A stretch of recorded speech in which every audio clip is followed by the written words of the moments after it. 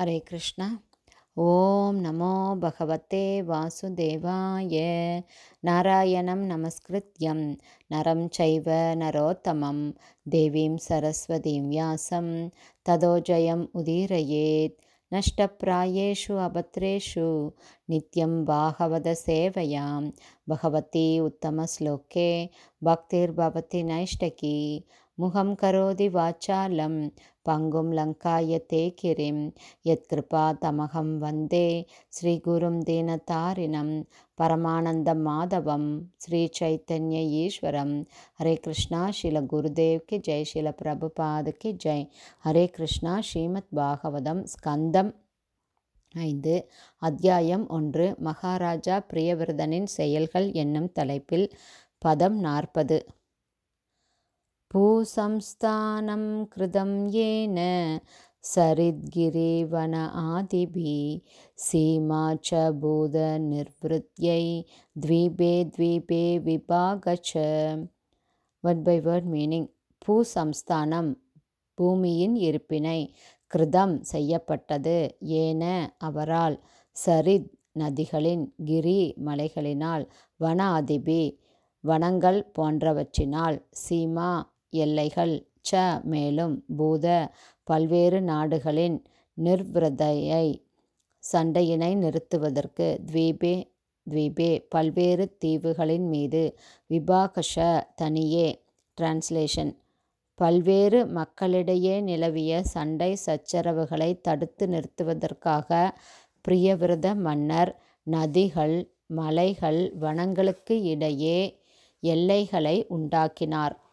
அதன் பின்னர் ஒருவர் சொத் அதன் பின்னர் ஒருவர் சொத்தின் மீது மற்றொருவர் சொந்தம் கொண்டாட முடியாமல் போனது.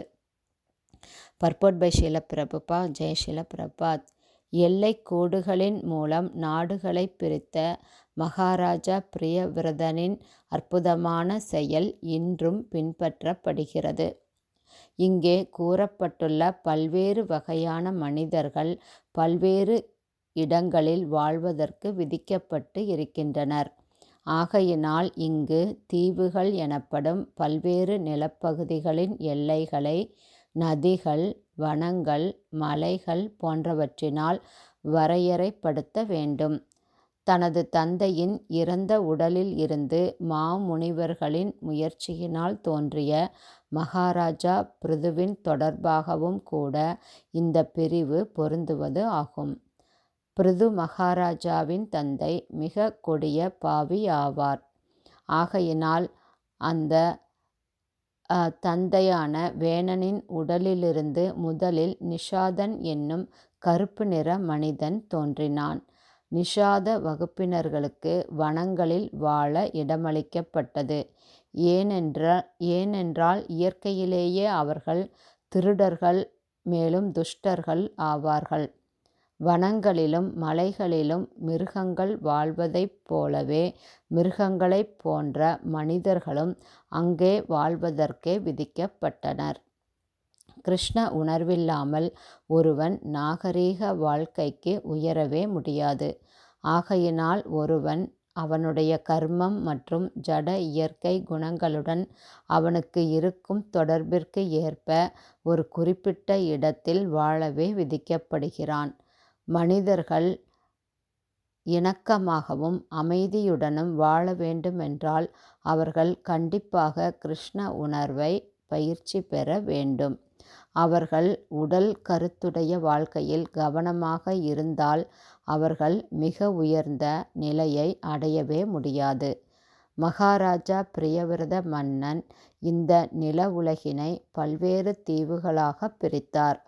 இதனால் மனிதர்களுள் நிலவிய பிரிவும் குழப்பமும் இல்லாமல் அனைவரும் மோதல் இல்லாமலும் வாழ முடிந்தது. ஹரே கிருஷ்ணா. ஸ்ரீமத் பாகவதம் ஸ்கந்தம் ஐந்து அத்தியாயம் ஒன்று. மகாராஜா பிரியவிரதனின் செயல்கள் என்னும் தலைப்பில் பதம் நாற்பதுடைய சில பக்திவேதாந்த சுவாமி பிரபுபாதாவின் விளக்க உரை இத்துடன் நிறைவடைந்தது. ஹரே கிருஷ்ணா. ஸ்ரீல குருதேவுக்கு ஜெய். ஸ்ரீல பிரபுபாதுக்கு ஜெய். ஹரி போல்.